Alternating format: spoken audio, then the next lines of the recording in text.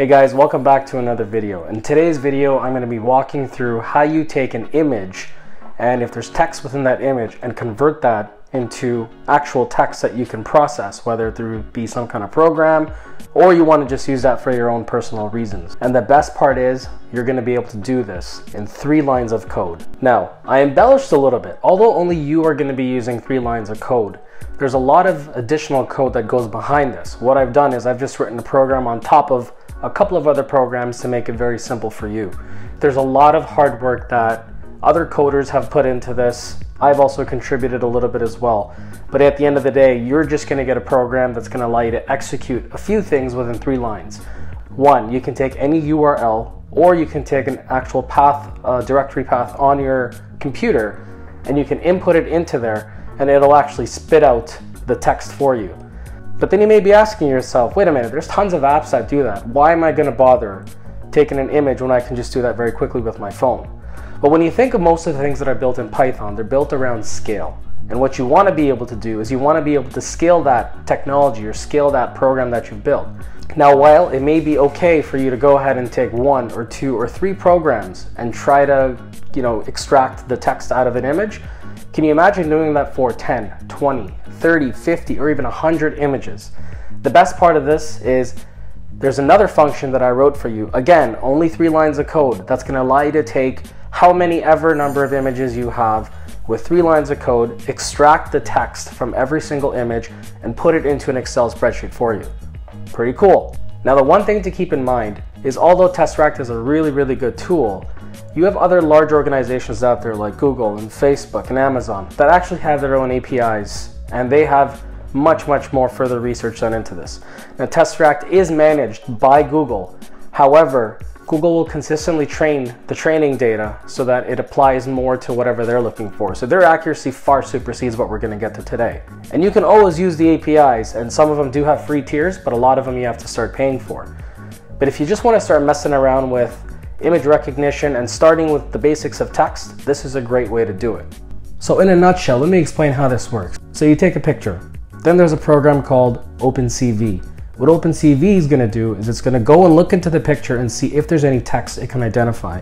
And if there is any text around it, it's going to draw what we call a bounding box around it. So basically circling around that text. Then we pass that text on to the neural network. And the neural network is going to use fancy technology like edge detection, forward and back propagation, and a whole bunch of other stuff. And it's going to say, okay, each one of these characters, so say I have the word SATS, it's going to say, all right, the first one is an S, the second one is an A, the third one is a T. And sometimes it does get it wrong, but this is where you need to have a whole bunch of engineers consistently training this model. But for the purpose of today, we're gonna get some pretty good accuracy and you're gonna see that. Now, there are some really cool use cases for this. I actually read some articles where people were able to catch criminals just by looking at the pictures they would post on Facebook. And what would happen is in the background, you would find either a restaurant name or a city or an address or an intersection, which would allow authorities to pinpoint their exact location.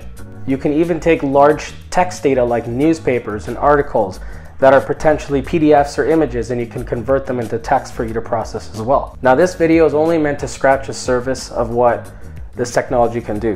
What we're using today is the out-of-the-box model that it comes trained with. But the accuracy is pretty damn good, and you're gonna see why.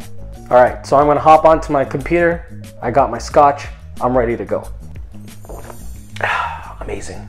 All right, guys, so we have two files here. One is going to be called app.py, which is going to be the main code, and that's going to be the one where you're going to run your three lines. And honestly, anybody can do this. This is so straightforward. I've made it, tried to make it so easy for everybody that almost anybody can run this. And then I will go under the hood and show you this code that I wrote that is sort of in, sort of sits in the back, but you don't really need to know what this does. Um, but I'll explain it for those that want to see it anyways. And there's even more code embedded in here that links back to the neural network under this thing called Tesseract. But let's go ahead, let me walk you through the code here. So it is very simple. So I created this function called words to text.py.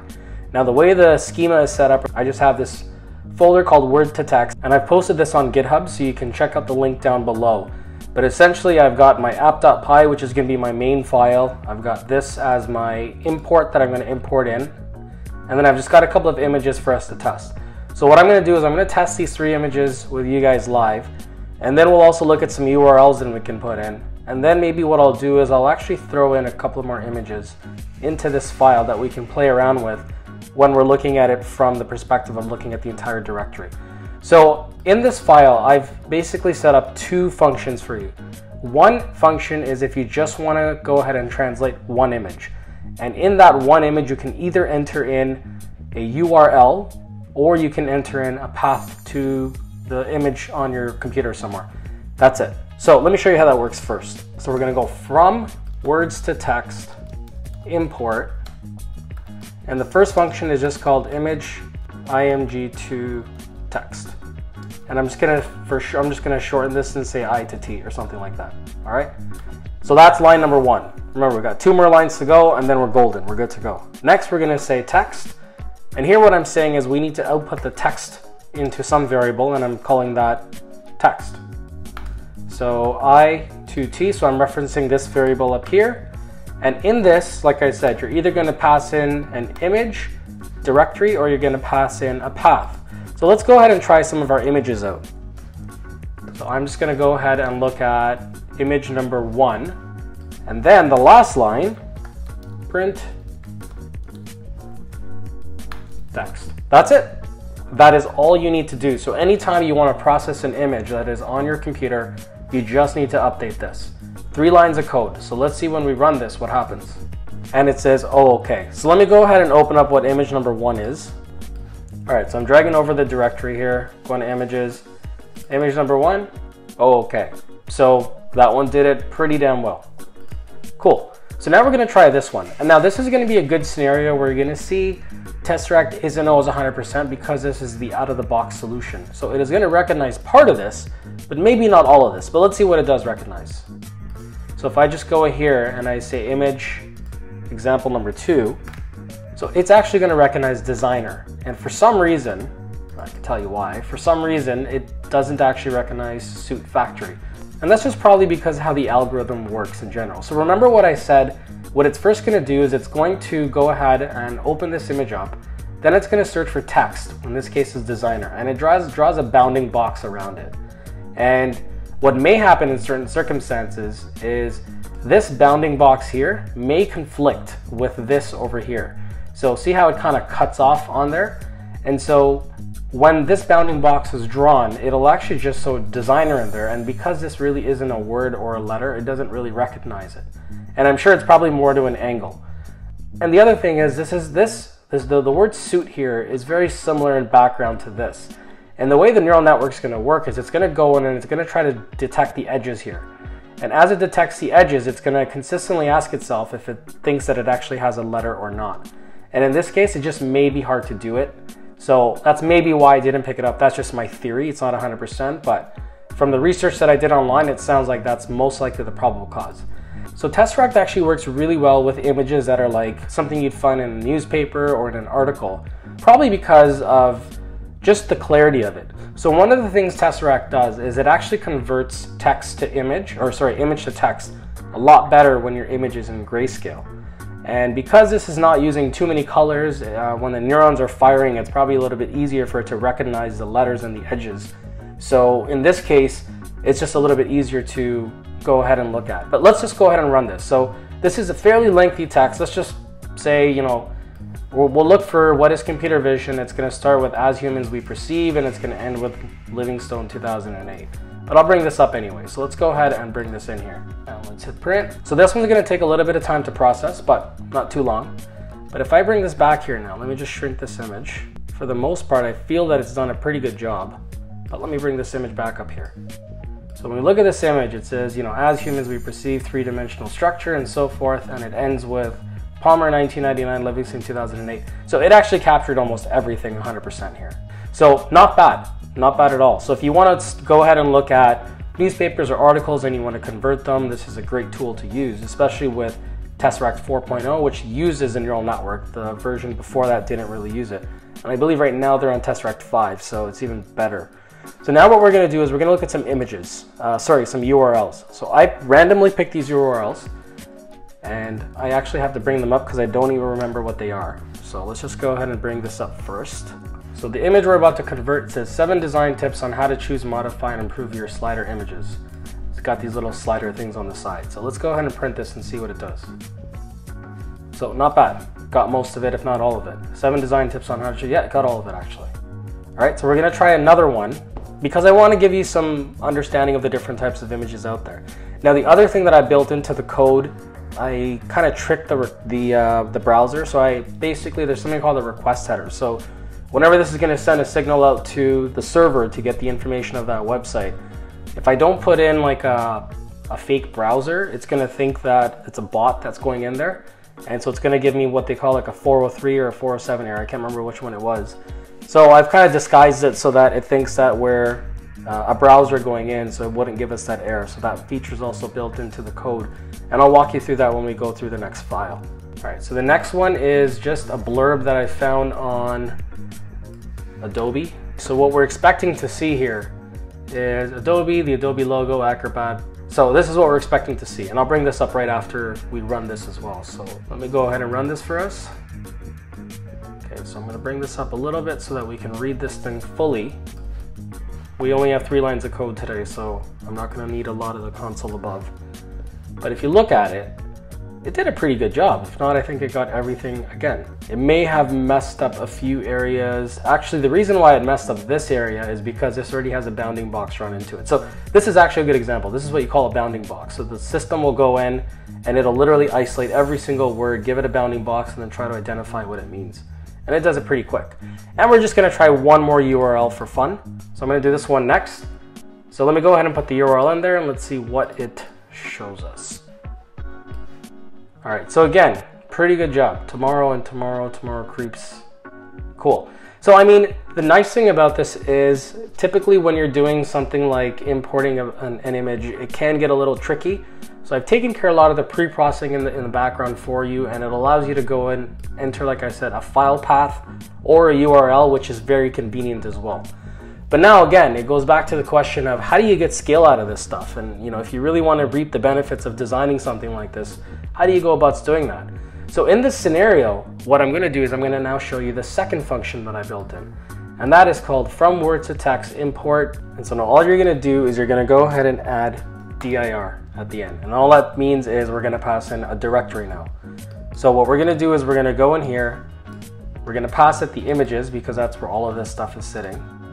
We're gonna right click, hold down option if you have a Mac, copy image path name. And what I'm gonna do is I'm gonna run this. And as it processes, what I wanna show you is the fact that in this directory images, you're gonna see an Excel spreadsheet just pop up. So let me just quickly run this and it should populate in just a second. So there you go. So it just populated right now. When I open this, what it's gonna show you is it's gonna show you the actual image name Okay, so this was example three, two, one, and it's gonna give you the text for everything that we ran. And that was ran in a matter of seconds. So if you can imagine, if you had 100 pictures here and you wanted to run this, it is very easy to do. And then you'd ask yourself, well, why in the world would I wanna run this? Because when my family and I went away on a trip one day, I just wanted to, for fun, go ahead and tag all the different pictures that I had and, you know, make a little collage that said, the places that we visited. And not every single image had uh, text next to it, but the ones that did showed up here with something next to it. Otherwise, it would just show up as a blank. And so that really allowed me to go back and say, oh man, we actually went to this restaurant or we were next to this restaurant and we didn't even know. And it's, it's kind of fun and it's kind of cool to do. You can also use this stuff at work or if you're trying to do this project for school, you can do that as well. A lot of different applications, especially if you're a developer and you have you know URLs that you want to extract data from in terms of words, that's another great way to do it as well. I actually have a project coming up on that, which is going to be out in a couple of weeks, and we'll talk more about that then. But it's actually pretty cool what I'm doing, and I think you guys will find it pretty cool as well. All right, so what I'm going to do is I'm just going to switch gears very quickly, and I'm going to walk you through the background here. And this is more for the guys that actually want to get into the into the details around this. So let's go ahead and quickly take a look at this code. It's not very difficult code at all, to be honest with you. So for, the, for those of you that are familiar, OpenCV is uh, computer vision, that's what it stands for tool. And I've just imported that. All it does is that's what will take your image and it'll draw the bounding boxes around the different images. Now you can use OpenCV also for facial recognition, which I'll do another video on in, in, in the future as well. But you can start looking at things like if people are laughing or smiling. There is actually a company in Europe What it does is instead of actually charging you money to come into the theater to watch a movie, it will charge you every single time you smile to watch a funny movie. And it was a very interesting concept. And if you just go ahead and Google that, you'll find it.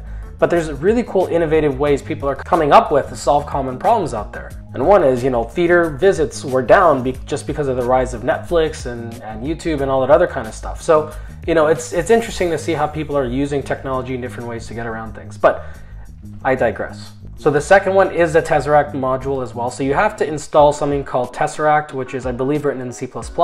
So then you have to add something called PyTesseract, which is a wrapper that sits on top of that Tesseract module, if you want to call it. Um, I've also imported regular expressions. We'll talk about that in a second. Uh, this is to use the URL for you to pull the data. Uh, this is just for some conversion I've used. This is for the file paths, and this is to get you to the Excel file, the pandas. And I will actually have a detailed video on uh, data frames as well. But I'm going to skip this function for a sec. I'm just going to go down to this one. All this is saying is that whatever you type in into your function over here, it's saying that if it actually starts with HTTP, that it's most likely a URL. So go ahead and treat that as a URL. So I wrote this function up here that says, take that URL, trick the browser into thinking that it's actually a browser, go ahead and open that URL, convert it into something that OpenCV can read, and then you want to use grayscale because that is the best way to convert images to text is to actually look at grayscale. Color just doesn't have the same kind of accuracy. And then if it doesn't have HTTP in front of it, treat it as if it's an actual path. That's all this means here. This is where Tesseract is actually starting to use some of the neural networks. So the way Tesseract works is Tesseract is, is an actual OCR tool, which is called uh, optical character recognition. But what it's basically doing is it's saying, all right, take whatever you've passed in in terms of an image after you've converted it to grayscale and go ahead and apply some machine learning to it and take the text out. And the machine learning is really built into Tesseract. We don't have to mess around too much into it. I mean, you know, maybe I'll do a tutorial in the future and walk you through line by line how Tesseract does this, but I don't think it's necessary. Um, here I can specify the language. Now OEM, this is the type of model you want to use. When you pick zero, this is going to use a traditional way that Tesseract did the OCR, and that was just no, you know, there was no neural networks. Uh, so it's using something called an LSTM neural network, and it didn't really use it. The minute you specify one, you're saying, go ahead, tell the engine to start using the neural networks to do it. Uh, and then PSM, you don't really have to mess around with this too much. I find six works very well. Um, generally, I jump between three, six, and seven. You can Google what it is, but that's just what works for me, and I would just I'm gonna just keep it there. And then finally, I'm saying take out any new line characters, return the text, and that is what you're seeing. So this is for that single image. Now, if I want to go ahead and do an image to text directory, all I'm saying is after you pass in the directory path here, if the file ends with a JPEG or a PNG, then go ahead and take all of those files and append it to a variable called files. Now, one thing I should say is GIFs for some reason do not work that well. They work every now and then, but I find that GIFs have a lot of error. If you do want to go ahead and play with GIFs, all you do is you say add in another OR field, say OR file dot ends with, and then put GIF here and just append it to the end. Very simple. And now it's going to iterate through every single one of those file names here, and it's going to store it in a dictionary called translation, and that dictionary is then translated into a data frame. That data frame is then converted into Excel, and you're good to go. Now I know I whizzed through that very, very quickly, but I kind of also did that intentionally because if you really do want to learn this, I encourage you to go ahead line by line and try to see what everything means. Try to print out every now and then. So, you know, put in a random print here and say something like print files and see what it gives you, right? Try to look at the response and that's the best way to learn. But what I wanted to do is just give you the high, high level of what this is doing. It's a very, very simple code, like I said. A lot of the hard work is done by the guys who worked on Tesseract, so kudos to those guys. But for the most part, very, very basic. All I've done is I've taken a lot of that background information. I've taken a lot of the, you know, the security issues may have had, conversion between HTTP and a path name, and then processing, you know, 10, 20, 100 files at once. I've also written a function and code for you that here so that all you have to worry about is three lines of code. And that was my goal here, to make sure that all you had to worry about was literally three lines of code. And that is all, folks. That is Tesseract for you in a nutshell. All right, guys, I really hope you enjoyed that video. That was a really fun little project that I put together for you guys. The code is actually down in the link. I've posted it on GitHub, so you can go ahead and download it and use it for yourself. Do whatever you need to do. Put it in your projects, or if you've went on a trip somewhere and you want to process a thousand images, go for it. Just keep in mind that if you're using a slow computer, it could take a little bit of time. If you've got a strong computer with a good solid GPU or an external GPU, then it may go a little bit quicker, but just be patient, it'll get the work done. And in one of my upcoming tutorials, I'm actually gonna teach you not only how to build a neural network, but also how to train a neural network. So watch for that to come. I hope you enjoyed this video. If you do, please consider commenting and subscribing. Until then, I will see you later. Take care.